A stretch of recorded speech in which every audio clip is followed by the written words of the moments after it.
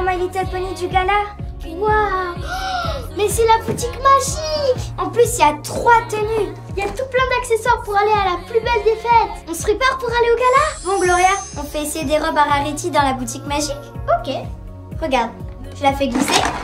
Et hop, c'est magique, elle s'habillait toute seule. Et si on lui changeait de tenue? Ouais, bonne idée.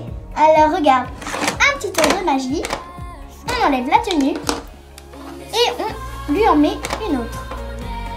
Ça, et hop, elle est reprête. C'est mieux comme ça Ouais, maintenant qu'on a trouvé nos robes, on va se faire de trop belles coiffures. Moi, je vais faire des bigoudis à Pinkie Pie, comme ça elle aura les cheveux bouclés comme moi. Et moi, je vais lui faire les plus belles tresses de la terre.